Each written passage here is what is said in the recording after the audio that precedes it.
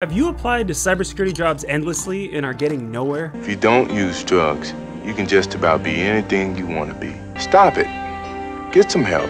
Hi, I'm Mad Hat. You may remember me from movies such as The Ski Mask, Hookhead! Bat Mask Man, I'm the real Batman! No, I'm Batman. No, I'm Bat Mask Man. and The Amazing Spider Mask Man. You are amazing. Thanks, I'm the amazing Spider Mask Man. But my amazing acting years are long behind me, and I've retired into a 9 to 5 security analyst career. My journey through cybersecurity has been long and hard. That's what she said. I'm here to tell you five reasons why you're not getting a cybersecurity job. Five possible ways that you are failing yourself and your family. Dishonor on your whole family. Dishonor on you. Dishonor on your cow. I'm just I'm just kidding. You could never dishonor your cow. Now these are things I've noticed are common with everyone that is struggling to get into cyber. Myself included when I started applying for jobs, and also things people need to understand before they start applying for jobs. Reason 1, your lack of knowledge. You might not be as qualified as you think you are. I know this might scare some of you suffering from crippling imposter syndrome, but someone needs to tell people, like my coworker who thinks he's hot shit, that you don't know as much as you think you know. That you don't know as much as you pretend to know just because you were hired before somebody else. But that's a separate issue coming up. So seriously, how much do you really know about cybersecurity? Do you know how to get into a computer system logs? Check resource utilization for abnormally high usage? Take a memory dump of your system to preserve its state and read the dump file for anomalous behavior? How about set up a virtual machine from scratch, from start to finish with safe configurations to allow for an analysis for an executable? Deep network packet analysis? Various exploits like heap overflow? Cross-site scripting? SQL injections? Do you know how someone can establish persistence on an endpoint and how to investigate it? Do you even CMD? Anyways, think about it. I'll wait. It's time to fucking take some souls. Instructors out here, all in their fucking jackets, drinking coffee. I want their fucking faces to go straight up fucking numb. So, do you really know all that? Now, this isn't to scare anybody off, but you need to at least be familiar with everything I mentioned. And of course, even more than that, everyone is quick to pick up cybersecurity certificates doing exactly what you should not be doing, which is studying for the certificates to pass and not actually committing yourself to understanding the subject matter that's covered in the certificate. This brings us to reason two lack of patience. You are being impatient in your studies. Everyone's looking for the fast path, the fast track, the fast pass to a job. I want a job and I want it now. I want it yesterday. Give it to me now.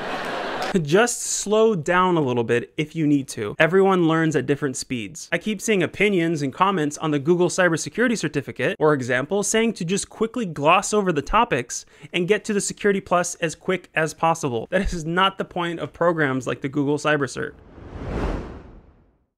Are you taking the network section and attempting to build a home lab with it? Are you taking the Python section and trying to write some basic malware with Python? Or are you just reading and listening and jumping through the hoops? Anyone can study for an exam with enough time and memorization of the concepts, but not everyone is willing to learn the material and actually build on it. Combine concepts even, and allow the knowledge to flow through you like a cyber Swiss army knife. It's what the Japanese call unagi. to save in your arsenal for when you need to use it for an investigation or audit or penetration test or what have you. Even the hands-on exams like the OSCP can be completed with enough memorization of commonly used tactics and just regurgitating those tactics during the exam via commonly used tools and methodologies. Are you even understanding how the exploit works? Or are you just doing it because you memorized how to use it? There's people who pass the OSCP and then there's people who make OSCP their bitch.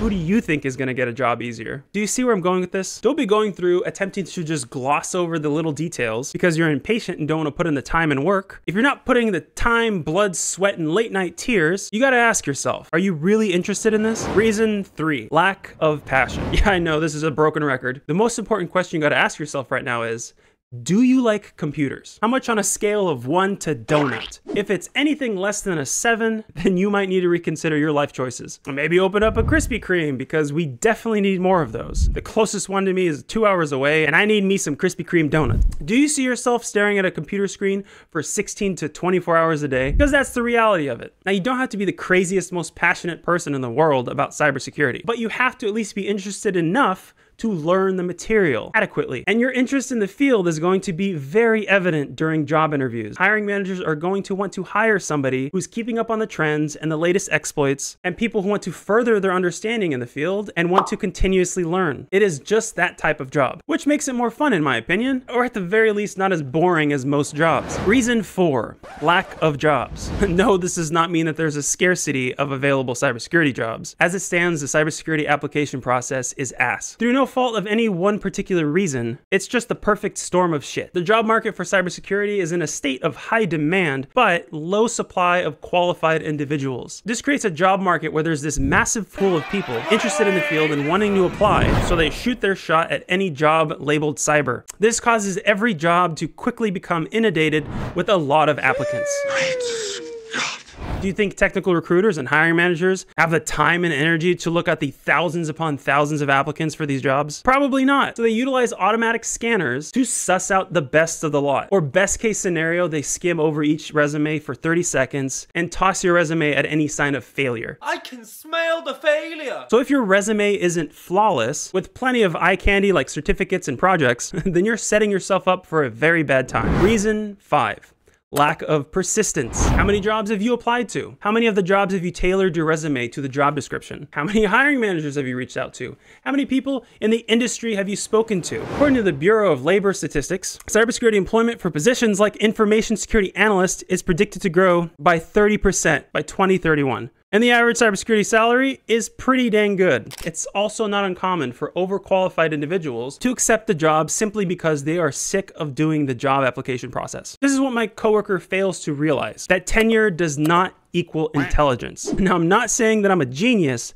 but I did accept my job currently simply because it was remote, because I hate commuting to work and sitting in traffic sucks the life out of your soul. But this type of behavior is common in cybersecurity because it takes too long to find a job. You get people who will settle for a job and will want to quit shortly after because they feel underpaid, underappreciated, but worst of all, they have to deal with egotistical smartasses who love to speak down to people. Do you think you know better than me? You should be sitting in my chair and I should be sitting all the way down there in yours. In order to combat this shit application environment that we find ourselves in, you have to make sure to apply to as many jobs as possible and not just the remote jobs because those are the most sought after ones available. If your resume is lacking in the experience and certification department, then you need to prioritize applying to jobs that are local, not necessarily remote. That doesn't mean you can't get them, that just means they're harder to get. And for that being said, in order to land a job in cybersecurity, you need to treat the job application process like a job, as in you have to put in the eight hours a day of applying every day. That is, once you feel adequately knowledgeable for the position that you're looking for. A friend of mine actually had the audacity to complain about not hearing back from anyone after applying to only 10 jobs. It's also not important to just persistently apply, but ensure that you are applying to jobs that you are capable of doing and your resume says that you are capable of doing. Even if a job listing has the same title as another, the job's day-to-day responsibilities are going to vary and they will almost never be exactly the same from company to company. That's because every company has their own unique needs needs for that job position. So if you're not applying to jobs the smart way, then you're doing it wrong. So are you guilty of any one of the five deadly failures? You're still a failure! Thanks for watching, everyone. Good luck out there.